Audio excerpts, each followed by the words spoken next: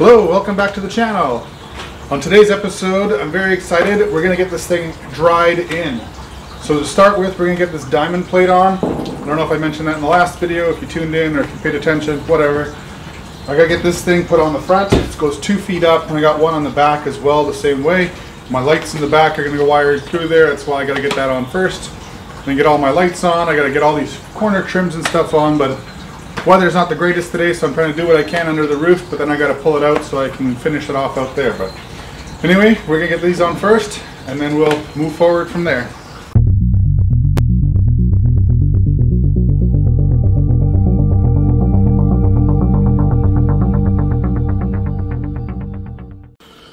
Well, I got the diamond plate on. I didn't video it. I needed a helper and they didn't really want to be on camera. So there's that.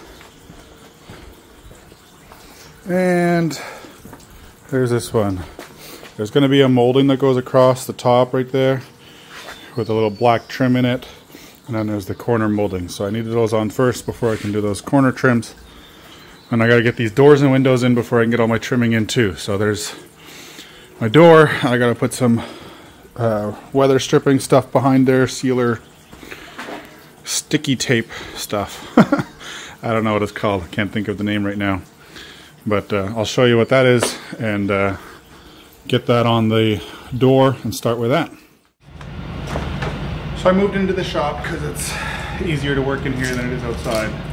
So this is the stuff I was talking about. It's black stuff, rubber, sticky, sticky trim, supposed to seal it all up nice. So I'm gonna go ahead and put that all the way around the door, even in the bottom, just so it's all weather tight, and then I can go put it on the camper and screw it in place.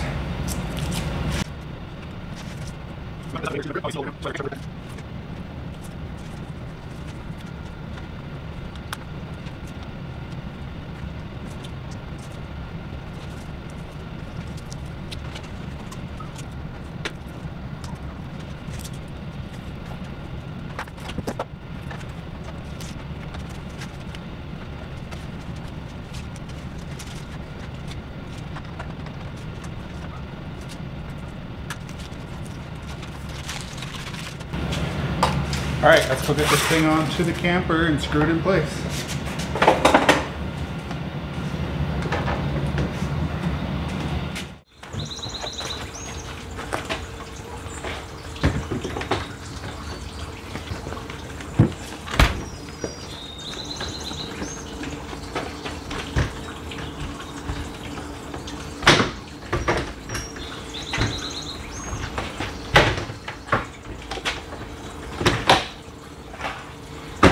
Forgot, I gotta take these screws out first.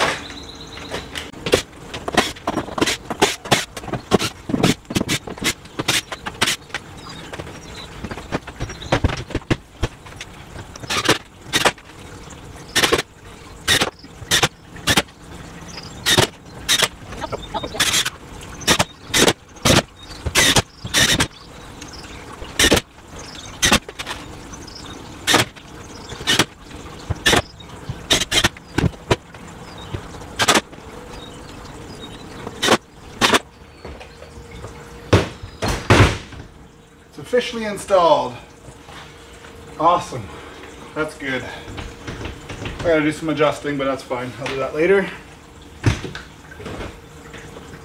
Let's get the windows installed. They're gonna be a little bit trickier because it's a two-part. I got a window from the outside I gotta slide in, and there's a metal frame from the inside I gotta screw to the window to kind of sandwich it in place. So I gotta cut those trims they're used windows, so I have frames that I have to piece together, but it'll all look good in the end. So I'm gonna get working on that, I'll show you in a minute. So these are my windows. This is one of them anyway for this side. And this is the trim that goes on the inside. It has to loop around the edges and uh, sandwich it in place. Obviously this isn't the right size for this window, so I have to cut and modify it to fit. So First step is to get this window pushed into place and I go from the inside and figure out exactly where I want to mark these and cut them so it'll all fit nicely.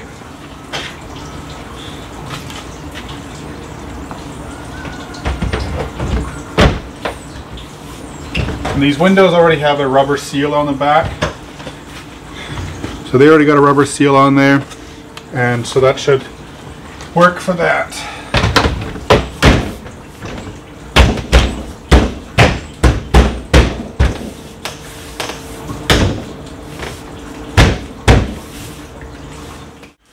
So this is how that goes on there.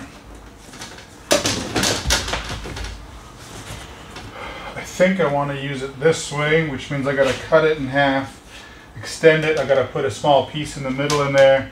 And this one I'll probably cut in half as well, just so that all my joints are centered and they look a little bit better.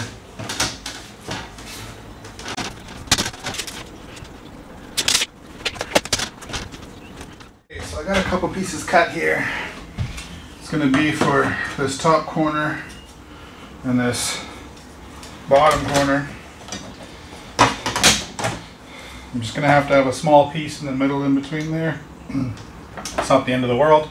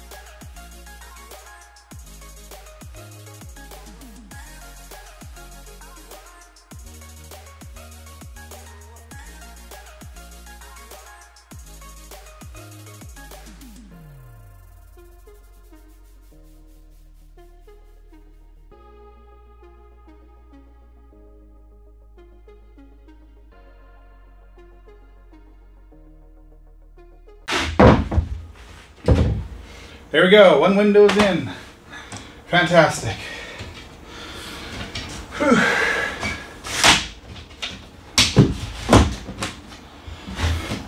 I'm gonna do the other side, put that on a time lapse, and you'll see it when it's done.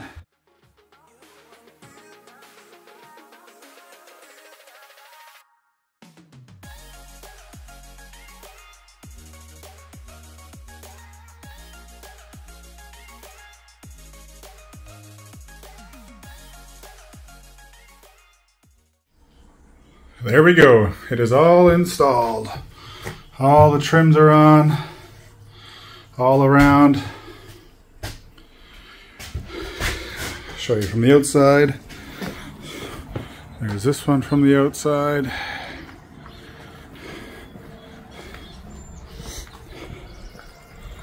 And there we go. Perfect. Looks really good a lot more complete.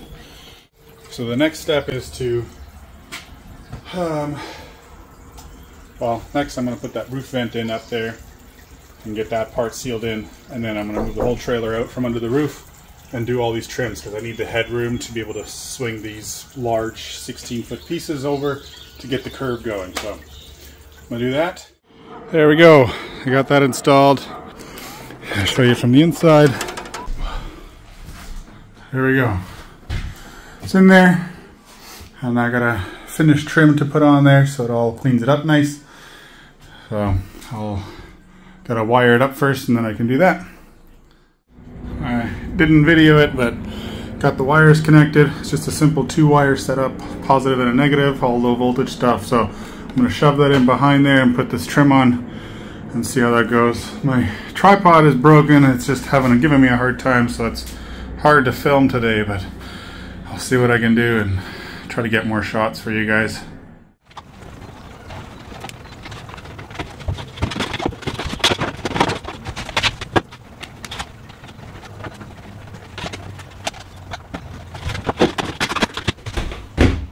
There we go.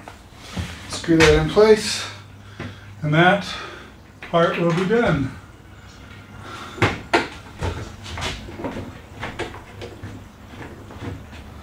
Ta-da, we got light.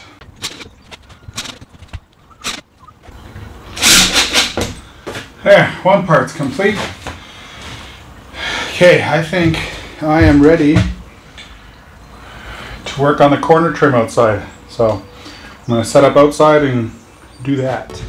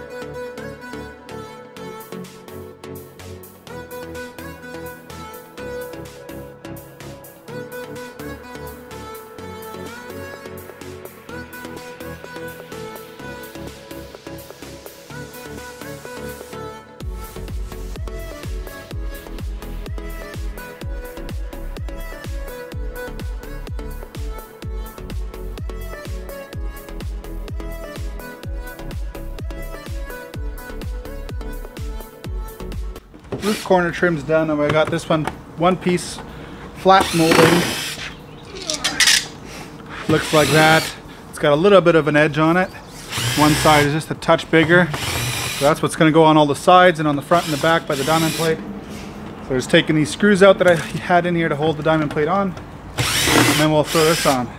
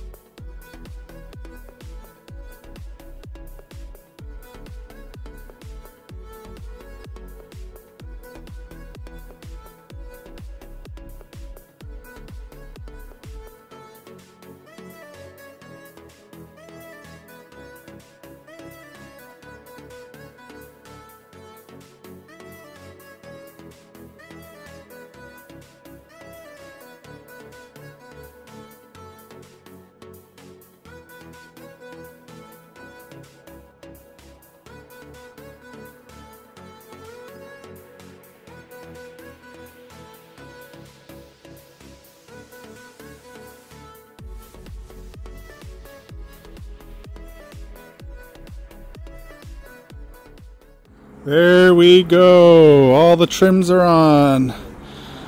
Oh, it looks amazing. Such a huge transformation just getting those things on there. I am so happy with the way that looks. Show you around the other side. Oh, it looks so much more complete. So they're up top, they're down the middle, and they're at the bottom.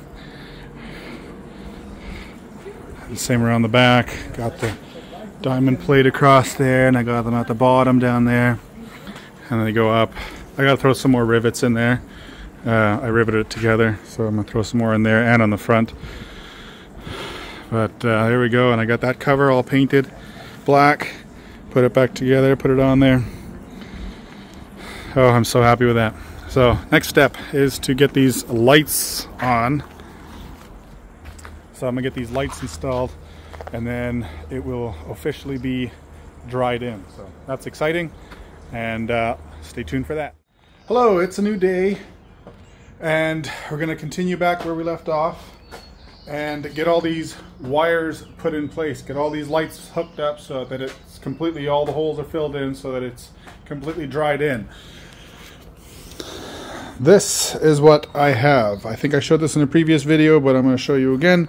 So I got some tail lights, I got some marker lights, I got an exterior light, I got a license plate light, and then there's the full trailer wiring for trailer brakes and everything else included. So that I'm planning on running underneath the trailer from the front where the tongue is obviously underneath the trailer here and then up underneath the floor here there's going to be a bench in here for your eating area and that's where the whole main power box is going to be for all the trailer wiring so I'm gonna hopefully run that in today, but my main goal is to get all these uh, wires cleaned up and all hooked up. Unfortunately, when I was running all my wires, you can see it, there's, you know, a bunch of wires up in there, there's three wires, and my marker lights, I didn't realize, I didn't realize that my little marker lights that I have going up there, they have no room in the back for hiding any sort of wires. I thought there was a little bit of a concave in there, so there was room for hiding marrettes, or not marrettes, but uh, wire connectors and stuff. So, what I'm gonna do,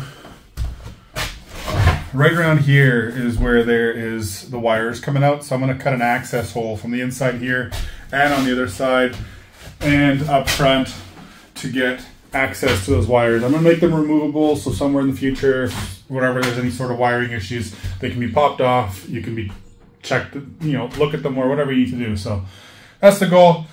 So I'm gonna figure out exactly where I want those holes cut and then fish those wires back inside and connect all my wires. So I think that's gonna be the easiest bet rather than trying to figure out something from the outside and it'll look it'll still look fine. Once it's all in here and it's all painted the same color, it'll just be an access hole. So Anyway, without further ado, let's get some holes cut and get these wires hooked up.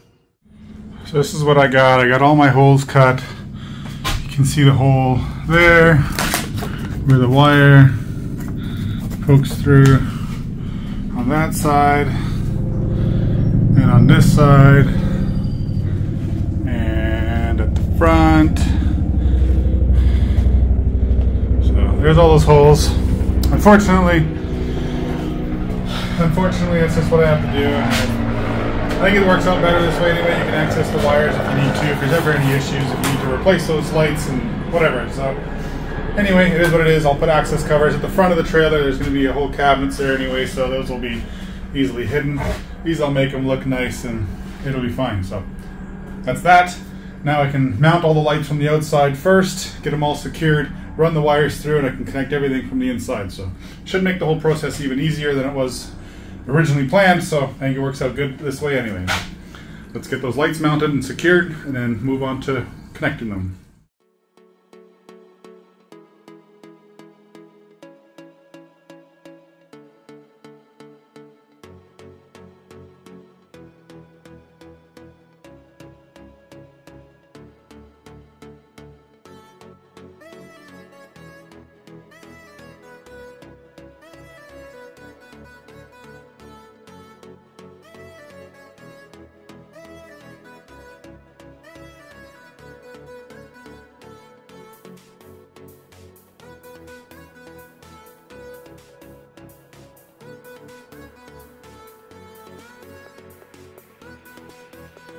Got all those marker lights in. They're all installed. I'm gonna put these tail lights in now. Get them all put where I want them. Gotta figure out these wires again. I know this was a ground. And which one goes where. Okay, so after doing some figuring out, figure out what these wires go to there. So I got this little piece of paper that came with all my trailer wiring stuff.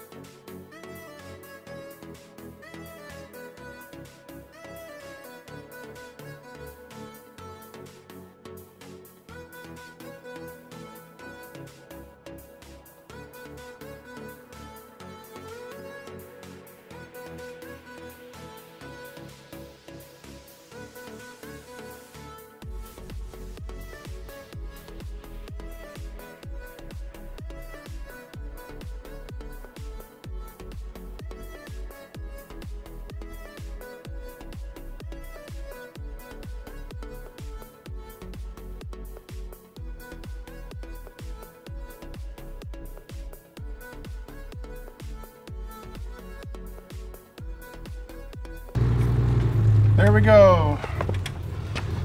All the lights are on. Only thing left now is wire it from the inside. And then I gotta run my main wire for my plug-in for the truck. And then I can test it to make sure they actually all work. So, work on that now.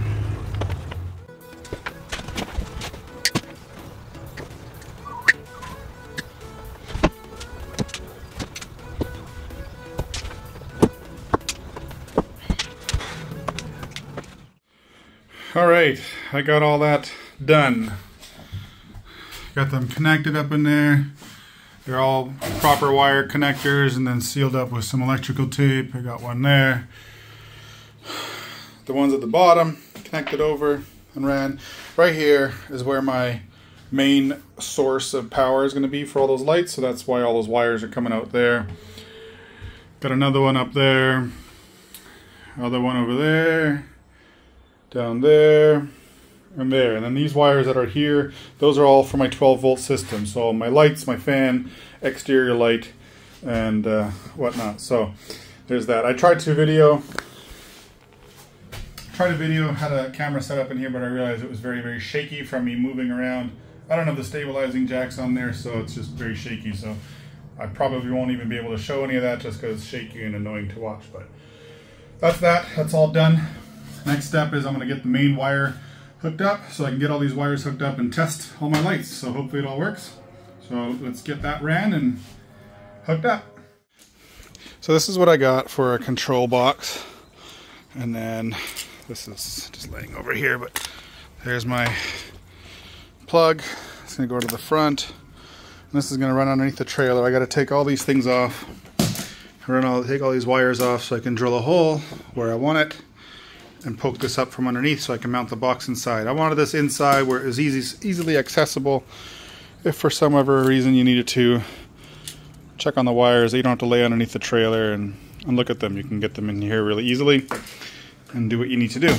So there's that. I'm going to loosen all those up, drill a hole, get that ran in here, and then start figuring out my wires.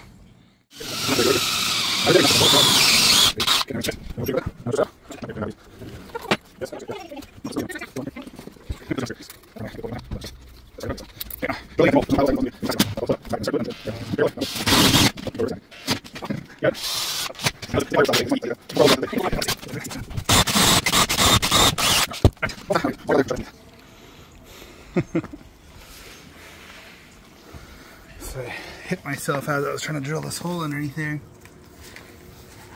Yeah, get all grab the individual wire. yeah, I know it's going to be a little bit tricky getting it all through there.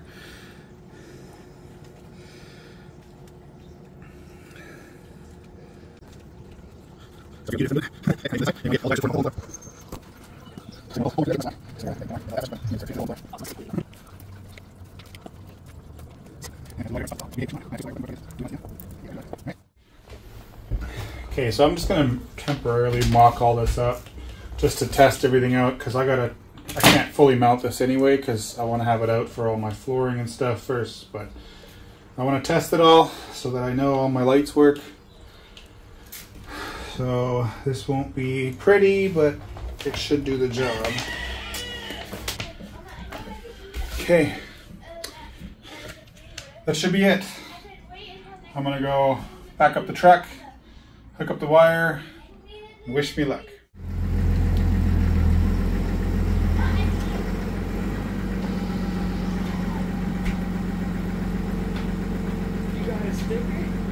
Yeah, I did.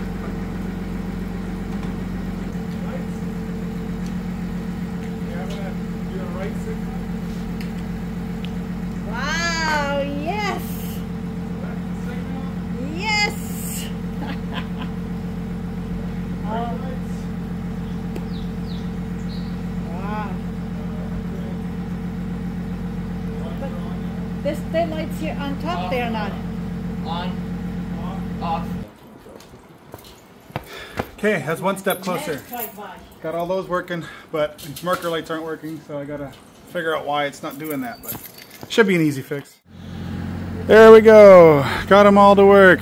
All the marker lights work. That works. License plate light works. Marker lights all work. They all light up. Simple wire mix up. The ground was a positive, positive was a ground. They have a black and white wire off the back, but Apparently the white is the ground on those, not the black, which is confusing and annoying, but whatever. It's all good. It's all done. So they're all all hooked up, all done, all ready to go. Perfect. I am very happy with the way that turned out. It's a mess inside. Messy, messy wire setup, but that's okay. It'll all get cleaned up. Like I said, like I said earlier, it's just going to be um, temporary until it gets all fixed up and done. So I think that's it for this video. We got a whole lot of stuff done, and I'm very, very proud of what it looks like. I think it looks awesome. Actually, looks so much more complete with all those trims and everything on there. So it's basically officially dried in. It can sit outside now, and I don't have to worry about water getting into it or anything like that. So anyway, thank you again. Thank you for watching. Thank you for tuning in. Thank you for subscribing. Really appreciate all my subscribers. If you haven't yet, please hit that subscribe button, hit that bell notification so you don't miss any new updates, any new uploads. And uh, yeah, continue liking those videos. And uh, if you don't like them, please tell me why so I can improve. I'm still working on it and hoping to make the best out of it. And uh, yeah, thank you again.